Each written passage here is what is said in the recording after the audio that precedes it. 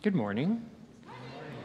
Welcome to this gathering. We are so glad to be together on this first Sunday of May in 2022. We are in spring. We will keep telling ourselves that. And whether you join us here in person or you're joining us online, welcome uh, to this gathering. Uh, we are SSUC, Spiritual Seekers United in Community. And welcome to this inclusive circle. Uh, we seek, don't we, to live out a generous spirituality that is not about beliefs, but about living fully and belonging, about embracing beauty and loving deeply. And so we gather to learn from each other about that. We gather to seek wisdom. We gather to practice those uh, ways of living that we might more deeply do those things. And so we welcome uh, the entire human family. It doesn't matter how old you are, it doesn't matter uh, the color of your skin, your size, your gender identity, your culture, your sexuality, your religion, your spirituality, your experience. None of that matters. We welcome the whole human family, and so we're glad that you're joining us. As is our custom, our words if spoken well and from the heart, can more easily lead to actions. And so we speak words of acknowledgement that we gather here in Edmonton on Treaty 6 territory, a traditional meeting ground and gathering place and traveling route to the Cree, the Saulteaux, the Metis, the Dene, the Blackfoot, the Nakota Sioux, and many other First Nations. And we acknowledge all those whose footsteps have marked these lands for centuries and for whom we endeavor to build relationship in our journey toward reconciliation. So, in this spirit of gathering, of being together, of acknowledging our past so that we might live more fully into the present, let's open our hearts and our minds and our spirits to each other, and to the wisdom of life.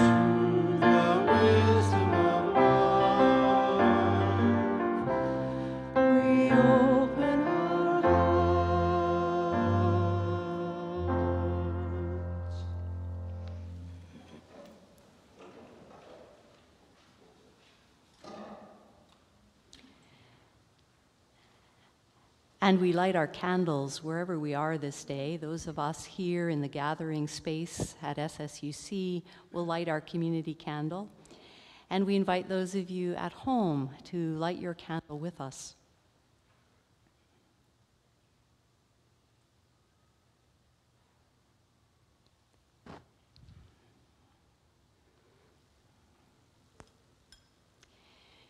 We light our candle in the midst of whatever mix of darkness and light lives within us and around us.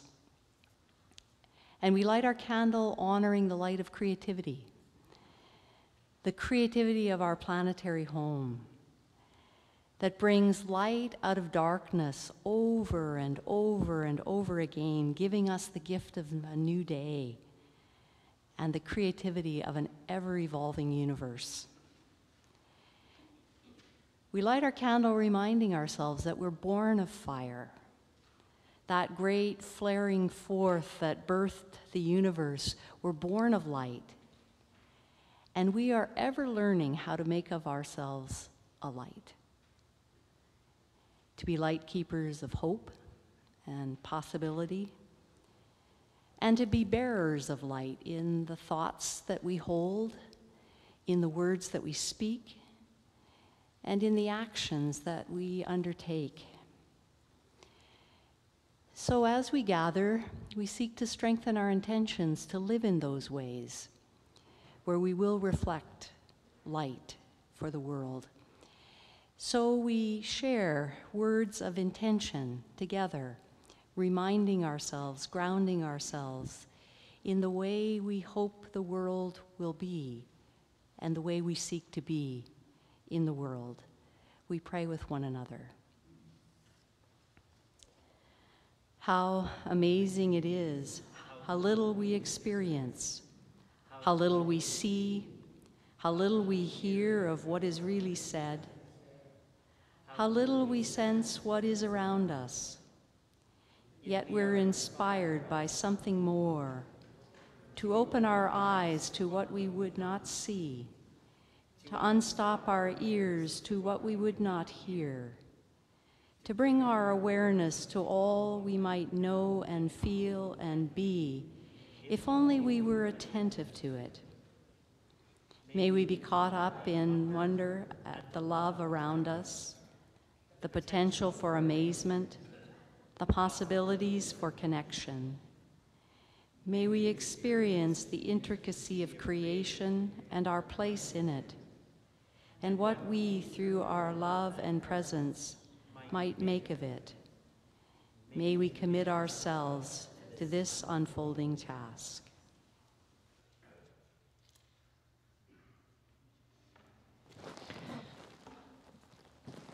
In our time for all ages today, I have a story and a conversation, and I know that we all can participate in a time for all ages. It doesn't matter our age and our size. Hello, everyone.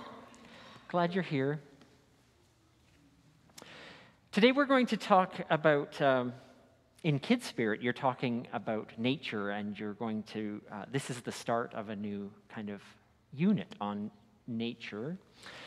And uh, today, I want to talk about creativity. Do you think nature is creative?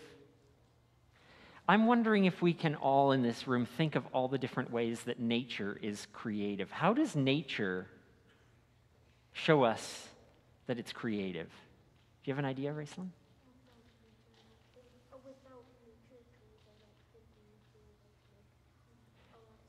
You're right.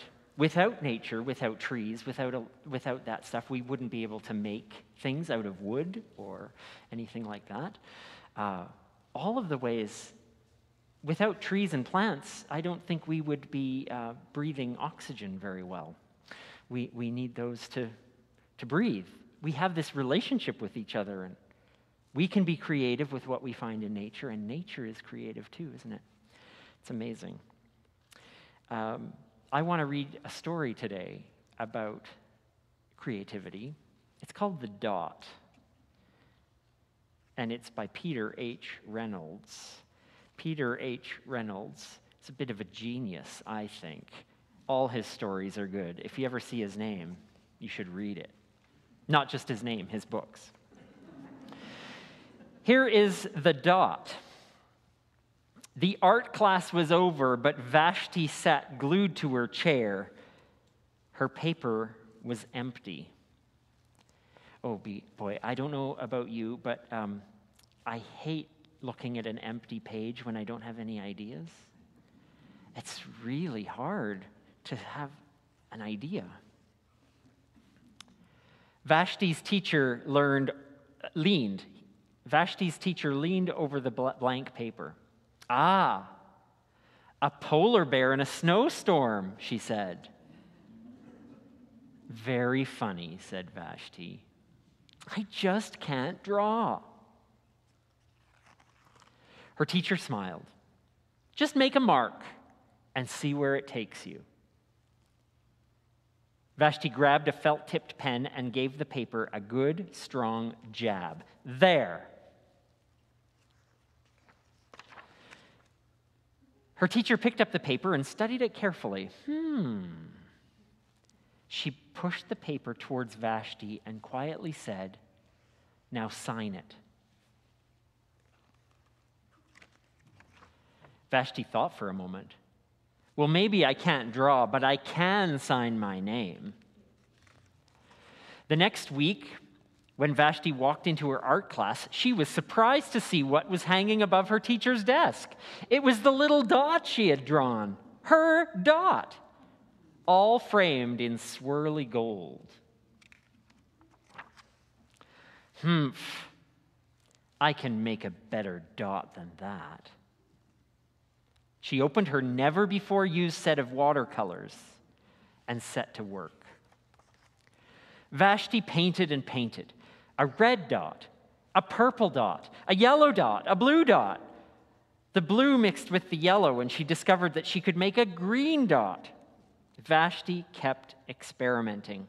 Lots of little dots in many colors. If I can make little dots, I can make big dots too. Vashti splashed her colors with a bigger brush on bigger paper to make bigger dots. Vashti even made a dot by not painting a dot. I think that's my favorite one. At the school art show a few weeks later, Vashti's many dots made quite a splash. Vashti noticed a little boy gazing up at her. You're a really great artist. I wish I could draw, he said. I bet you can, said Vashti. Me? No, not me. I can't draw a straight line, even with a ruler. Vashti smiled. She handed the boy a blank sheet of paper. Show me. The boy's pencil shook as he drew his line.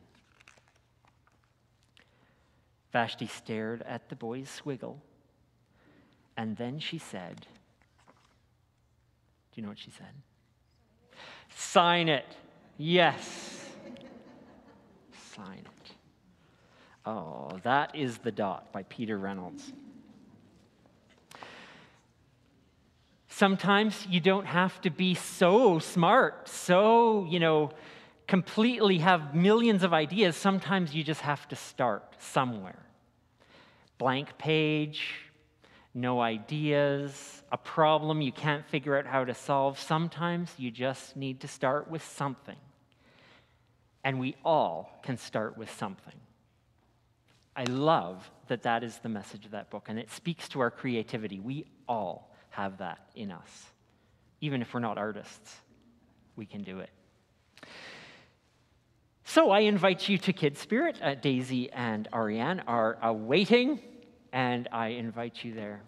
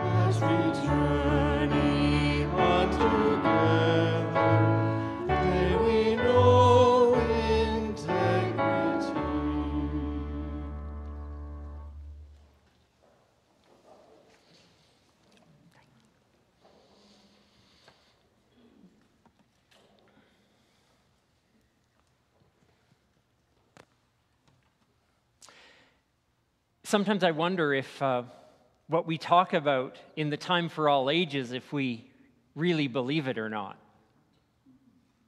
And today's one of those days. We talked about the fact that everybody is creative, that everyone can start somewhere. And I wonder if we all believe it.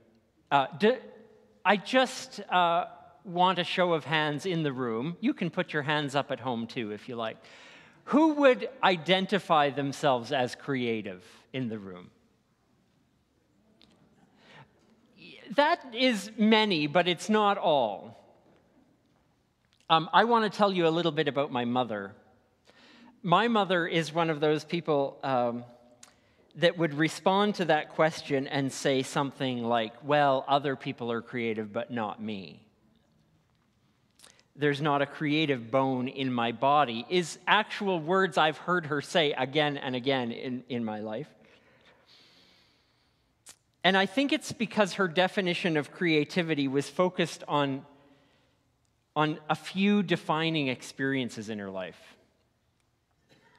She never played a musical instrument, so she's not creative musically, according to her. Whenever she drew, it, lo- it ended up looking like a blobby horse, she would say to me. And so she would say, I could never draw. And these two experiences, just with drawing and with with, with uh, no musical experience, those have defined kind of her sense of her creativity. I personally think she's wrong, but to each their own. I want to be a music nerd for a minute. Do you mind? Um, as if I can turn it off. I'm always a music nerd. Great. Okay. Uh, I want to talk about the pentatonic scale. And you're saying, the what? That sounds like a scary thing, but uh, penta means five. A scale is um, a set of notes that go together in a certain way. So a pentatonic scale is five notes that go together.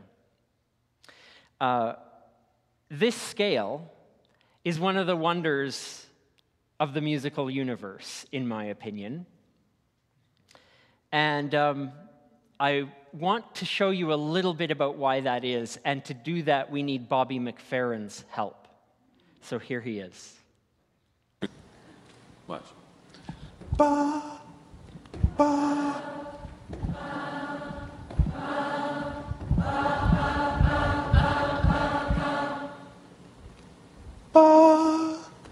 Ba,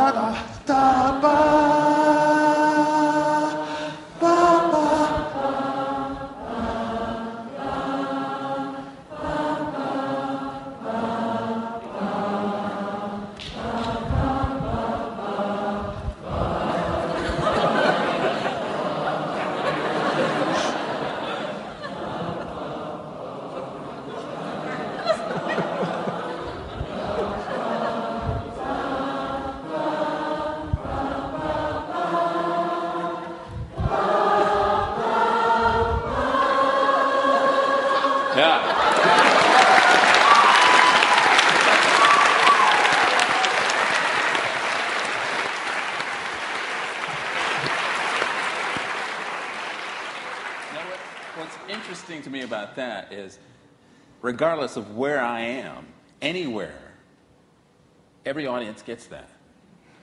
But It doesn't matter, you know, it's just, you know, the pentatonic scale for some reason. the pentatonic scale for some reason.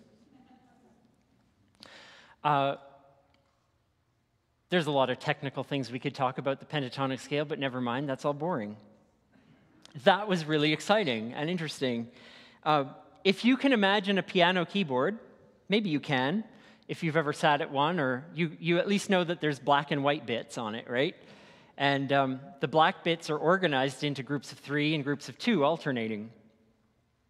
And uh, a really fascinating thing about the way uh, a piano keyboard is organized is that if you played only the black notes, you would be playing a pentatonic scale. There are five of them uh, Do, Re, Mi, So, La, skipping Fa and Ti, if you want to go back to, you know, sound of music kind of stuff. Um, and as music teachers, if we want to get new players, whether they're kids or adults, it doesn't matter, improvising and playing something that sounds good right away, like first lesson. First lesson how to make a new player feel really good that they're learning something and that they sound good. You have them play only on the black keys because there's something about the pentatonic scale. You really can't make a bad musical sound with the pentatonic scale. They, all the notes go together, either one after the other or all together. Kids love that, adults love that, and like McFerrin's audiences wherever he goes, we just have something within us, something innate, something natural that knows these musical patterns. And we get it, and it sounds natural. Those uh, people in that audience may or may not have felt creative, but they were, they were singing without any training. They were singing by watching a silly man jump on the stage. How creative, how beautiful. And that creative spirit is in, at work in all of us. We give it a home and it links us to each other so much that it surprises us when things happen like that. It surprises us because we didn't think we had that in us. It also happens, though, in other areas of life. It would be easy for me, a musician, to talk about the creativity of music all day long, but no. I mean, that's an example because it's, it's from the world that I live in and know. But this happens in every area of our lives. You've had an idea, and then you share it with someone and they build upon it. Maybe you're the person who didn't have the idea, but you've been thinking about it and you think, oh, that's kind of neat. I, what about if we did this to that? or the other. And the suggestion excites us, and we keep adding and changing until that idea might be much different, but probably ultimately better. It happens when we come upon a challenge that we can't solve, even if it's the simplest of challenges, like why my freezer ice maker will not stop making ice. Yes, that's a real life weekly example. Thank you. Refrigerator. But somehow, because I kept the text number of the guy that fixed our dishwasher, he was able to text me back and say, Well, just do this. And I'm like, Oh, I didn't think of that. This is the creative spirit. It happens alone, it happens within us, it happens with each other often to our surprise. We are always awed when a creative solution comes up, even if it's not our own, but especially when it's ours. I want to share with you a reading from uh, the book of Luke in the Christian tradition. This comes from the 17th chapter. When asked by the Pharisees when the world Jesus described would come, he answered them You won't be able to observe the coming of that realm. People are not going to be able to say, Look, here it is, or over there. On the contrary, the world as we imagine it could be dwells within you.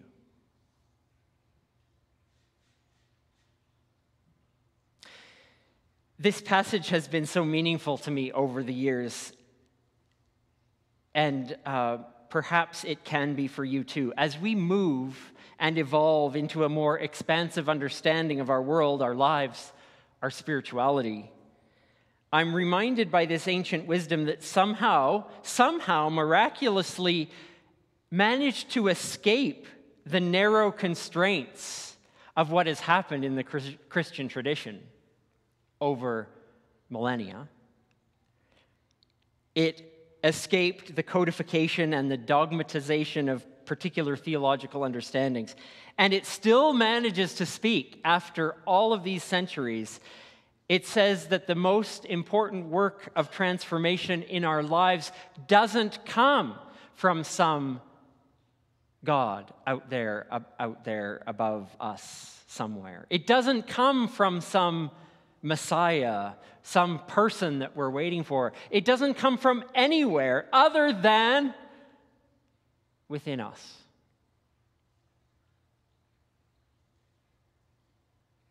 It comes from and dwells right within us, in our gut, in our heart, in what we know is true, in how we know what is right to do, in the wisdom we have and learn and share with each other.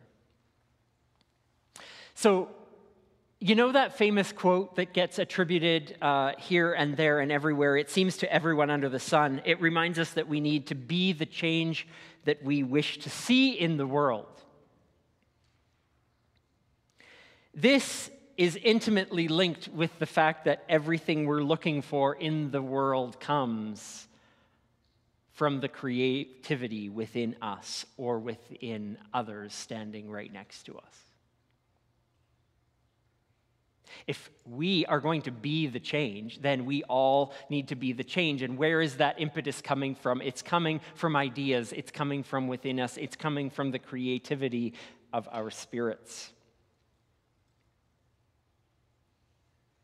It's coming from our intentions and our desires and our will and our commitment to acting on our values. And it's up to us to express it in the ways that will mean something.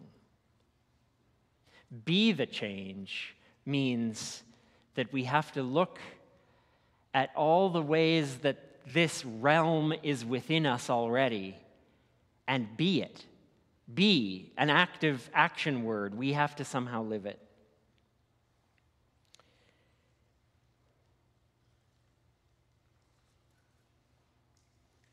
And that very act of living out our principles requires the creativity that each of us will find within us. Uh, listen to theologian and contemporary scholar Matthew Fox. Uh, this is from his book entitled Creativity. Creativity is not a noun or even a verb, it is a place, a space, a gathering, a union, a where wherein the power of creativity and the power of imagination join forces. And where those two come together is where beauty and grace happens and indeed explodes. Creativity constitutes the ultimate in intimacy, for it's the place where the sacredness around us and the beauty and sacredness within us are most destined to interact.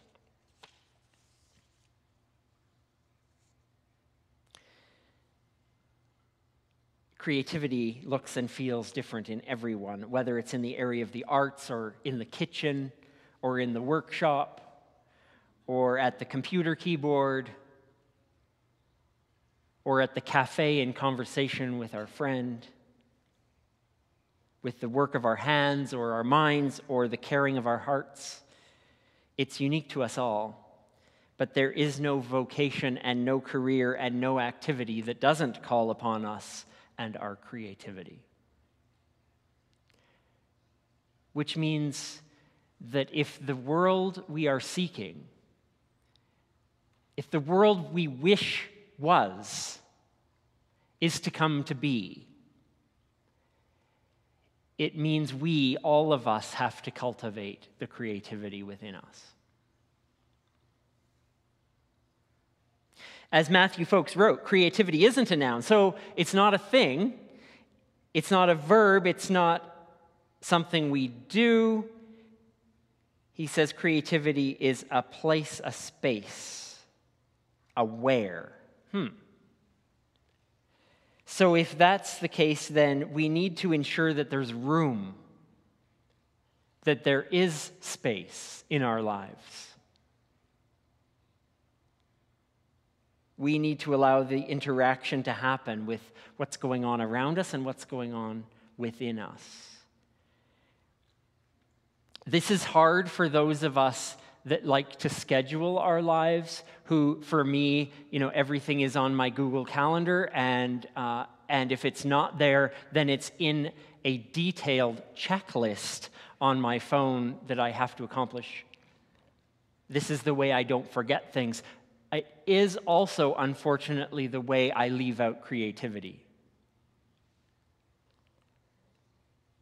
Because it's hard to schedule time and space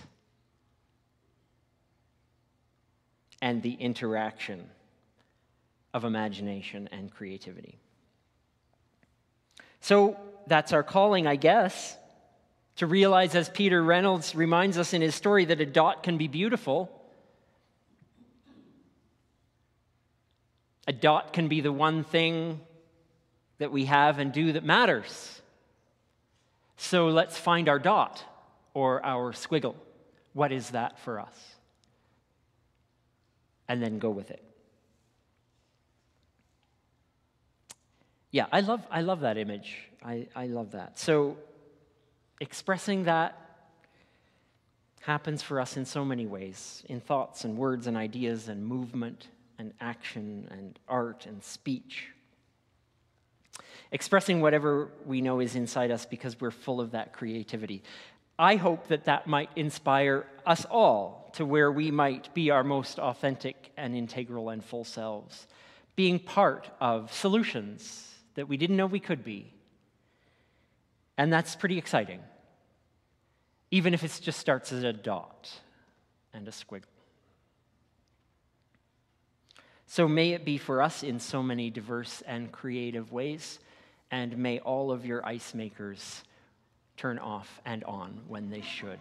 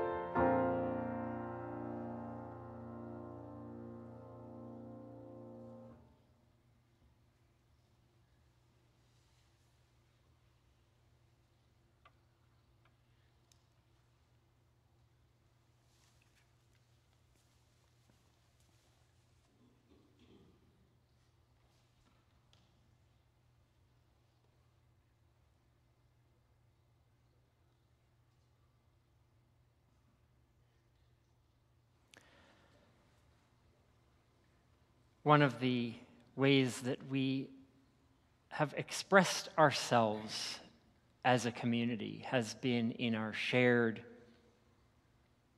prayers of joy, of challenge. And in the last uh, two years and a bit, we have tried uh, with some success to be able to share those pieces of our lives with each other, whether it be on Zoom or through video chats or online or email or whatever, but it's not the same as being a community that gathers and is able to share with one another. And so um, we are going to do that this morning. We are going to share uh, those things that are our prayers for the world and for living. And uh, there are two microphones in the room. For those of you at home, uh, we may not have you live, but uh, we invite you into this time of prayer as well. And uh, I would like to invite us into this time of sharing uh, in kind of the realm of creativity. We are uh, seeking different ways in which we are um, seeking to be more creative, seeking uh, ways in which our world might be more creative, and also celebrating when we see it. So, uh, I'm asking uh, these questions. When, where am I expressing creativity? Well, where am I? Where are we? Where is the world expressing creativity? Think of these as the things we celebrate. What are we seeing? What joys? What amazing things are we seeing where creativity is at work, where wonder is around us? And I'm also asking where does the world need creativity? Think of these things as the places where, and the, and the needs and the issues where we need to bring to bear the world's creative energy. And um, as we share those things with each other, uh, we have a response. Uh, we will share with each of those prayers. We honor the creative spirit in us. So I open this time. Um, I'm not going to run a microphone to you, but I invite you to come to one of the microphones uh, if you've got a prayer to share, uh, a joy, a place you're seeing creativity in the world, awe and wonder, a place where that creativity and and uh, is, is, is desperately needed in our world. I invite our time of prayer.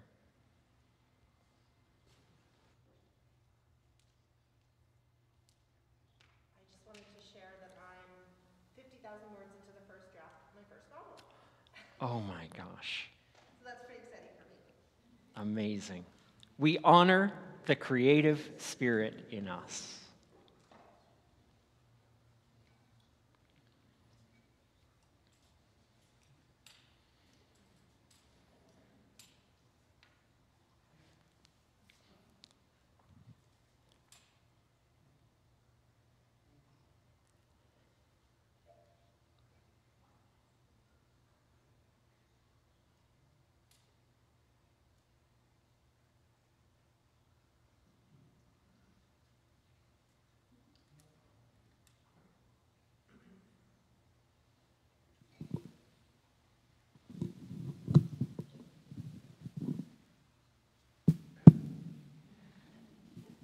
Thank you.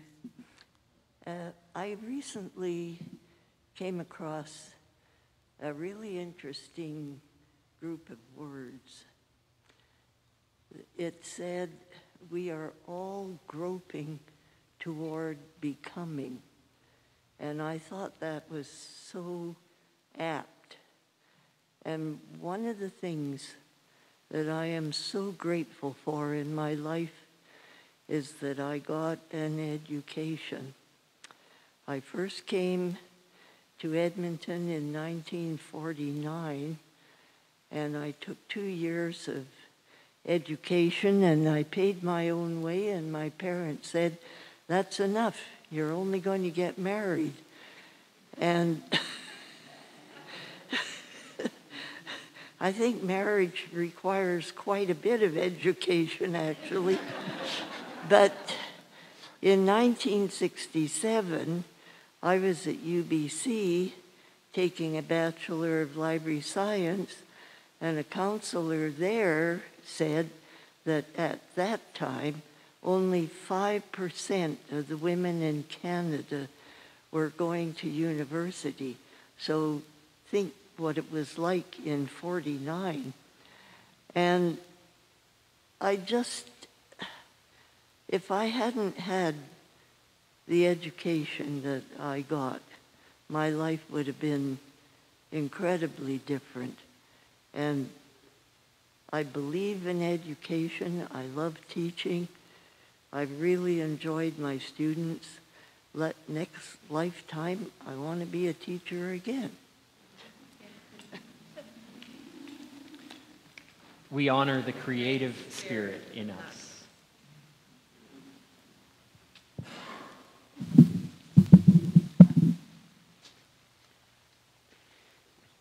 I explore creativity at home in my house by exploring new recipes and uh, my quilting, uh, all beginning, but definitely it's an exploration and an opportunity to create. And sometimes even being in this space is a wonderful op- option for creativity too, because um, as much as all our lovely beings are around us, um, how they're positioned and how we, I see the reaction from other people, I, f- I find creativity within that too. Thank you. We honor the creative spirit in us. Um, I have the great privilege of working with individuals with disabilities, and I see their creativity every day and how they adapt when they're doing art to maybe they can't hold a paintbrush this way, but they can hold it that way, or how their support works. So I'm always marveled by their creativity. We honor the creative spirit in us.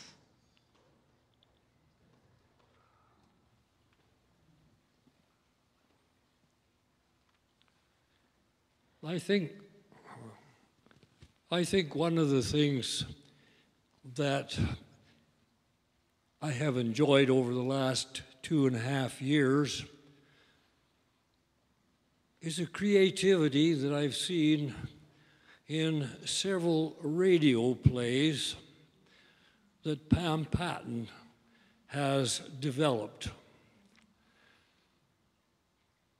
and involved me, by the way. and this has led me to uh, work with her and suggest a word play that we might do that represents to me what SSUC is all about. I like playing with words and I have sent her a version to see what she will do with it. Chris, I think that's one of the creative things that has helped us over the two and a half years of the pandemic. We honor the creative spirit in us.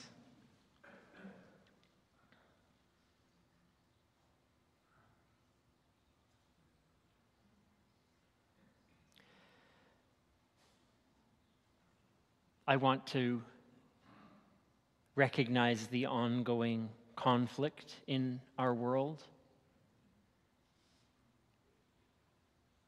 In Ukraine, particularly, but in many places, and the creativity not just needed, but absolutely required by leaders and citizens to make peace. We honor the creative spirit in us.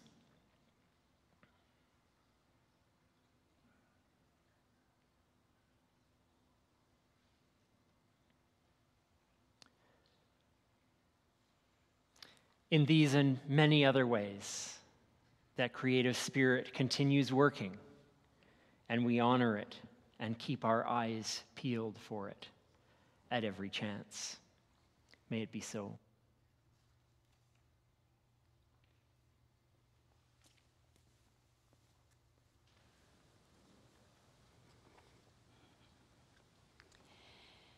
I want to share a couple of invitations, and particularly for those of you at home who haven't had the opportunity to be in the company of others this morning in this room, or those of you who can get home very quickly and get on Zoom, an opportunity to have a bit of conversation with one another about this theme of creativity, where we're experiencing it in our lives and where we seek it for our world uh, an opportunity to engage in this morning's theme with each other. You'll find the link on our website and a time just to be in a, a, a conversation face to face on online, um, an opportunity to uh, talk and engage with each other also want to uh, express opportunities for us to support the life and work we share in this community with each other.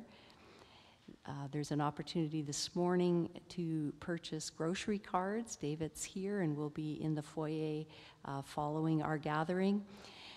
That uh, supports our life and work as we receive a bit from those um, merchants for uh, the sale of those gift cards. And if you need uh, to purchase groceries soon, opportunity to purchase some grocery cards here this morning. Thank you for the ways you support us with your ongoing uh, pre authorized remittances and also with your regular donations. There's also a box at the back in our space here this morning, and we welcome any support that you are able to offer to the ongoing work of our spiritual community.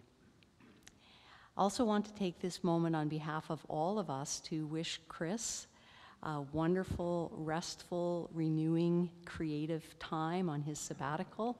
He'll begin his sabbatical leave this week, and we hope that it is for you just a good uh, opportunity to uh, relax, to be in a different environment, to not have the daily, weekly responsibilities of life in our spiritual community, and that this might be a renewing time for you. So we wish you well and we wish you health, and we look forward to seeing you.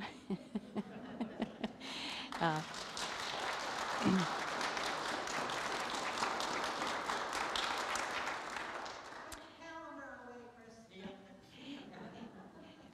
Yes, he's being invited. For those of you online, he's being invited to uh, turn off that list that's on his phone and to put his calendar away and to just enjoy the spaciousness of these days. So, we ask in song the question we ask of ourselves each day in the light of all we know and deeply know how then shall we live?